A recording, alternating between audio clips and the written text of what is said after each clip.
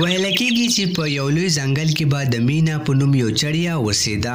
د مینا چړیا په ځنګل کې خپل خپلوان څوک هم نه وو او دې مینا چړیا سره د اوسېدو دپاره خپل کور هم نه و.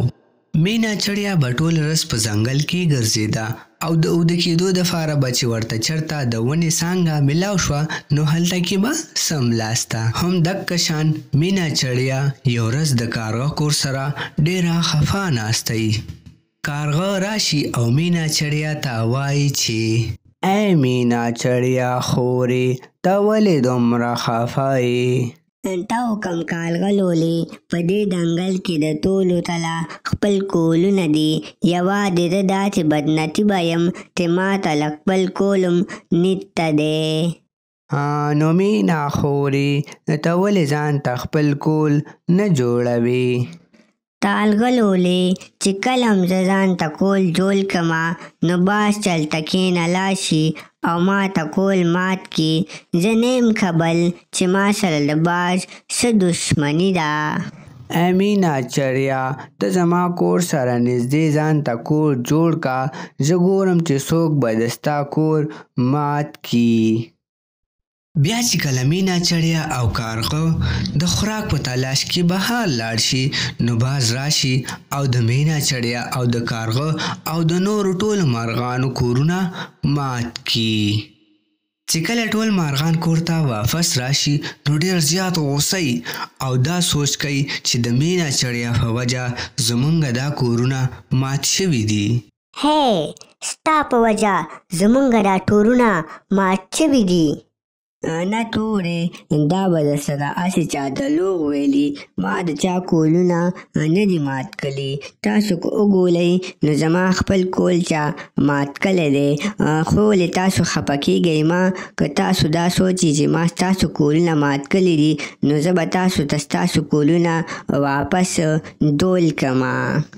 مونږ ځان ته خپله خپل کورونه جوړولی شو خو د درې ورځو لپاره به ته مونږ ته روزانه د خوراک څښاک انتظام کوې. بیا مینا چړیا ډیر زیات محنت شروع کړي او ټولو مارغانو ته د خوراک څښاک انتظام وکړي نو په دې کې پې باز راشي او باز ورته وایي چې. په دې دومره وخت کې تا صرف ایله دومره خوراک جمع کړی دی؟ ته لګد می جمع کلی دی او که دل خلاق ستا پکې څه کار دی باز لولا زما کار پکې دا دی چې شابه دا ټول خوراک زما ته راکا. دا باز د مینا چړیا نه په وچ زور باندې ټول خوراک واخلي او مینا چړیا ډیره زیاته خفه شي. ما په څومره په محنت سره خولاک جمع کړی و او دې باز زما نه ټول خولاک یو له مینا چړیا ډیره زیاته خفای او دا سوچونه کوي چې په دې کې کارغه راشي. مینا خورې تا د خوراک څنګه چل وکړ څونه خوراک دې جمع کړی دی اوسه پورې؟ دا مینا چړیا کارغه ته څه جواب ورنکي او د هغه ځای نه لاړ شي بیا داسې ډیر زیات ناوخته شي او مینا چړیا ټولو مارغانو ته خوراک راوړي مینا چړیا ډیره زیاته ستړي شوي هم یي او بیا داسې مینا چړیا کارغه رور ته هم خوراک یوسي کارغه لولې ما تا ته هم خوراک راوړلی دی نه مينه چړيا خير دی زه به په خپله خپل ځان ته خوراک راوړم ته اوس لږ ارام وکه ټوله رز ډيره ستړې شوې. په دې ټوله دنيا کې زما څوک هم مدد نه کوي ستا نه علاوه تالغه لولې. هیڅ خبره نه ده، ته زما د خپلې خول په شانتې مي ناخولې او زه به همیشه د فاره د ستا مدد کومه. بیا داسي په بل سحر باندې. پاسه مي ناچریا خولې سهل شو.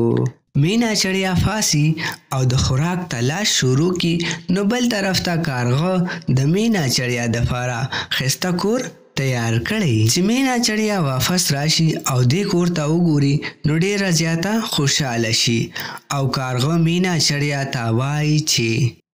مينه خوري اوس ته فه دي کور کي فاتي کيدي شي نن نه پس دا کور د ستا شو.